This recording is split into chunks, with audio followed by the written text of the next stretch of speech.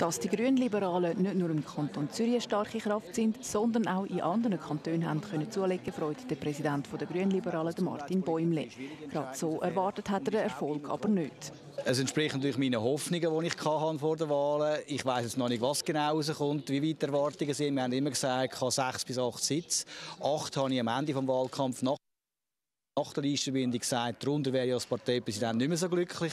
Wir werden das Ziel möglicherweise heute erreichen und dann kann ich sagen, mal bin ich sehr zufrieden. Umringt von den Medien freut er sich auch für die Verena Diener, die im Ständeratswahlkampf in Zürich gut im Rennen liegt. Auch das ist noch Hochrechnung, aber die entspricht auch meinen internen Kalkulationen, dass Verena Diener dürfte vom Platz 1 sein. Das freut mich riesig, dass sie so klar vorne ist.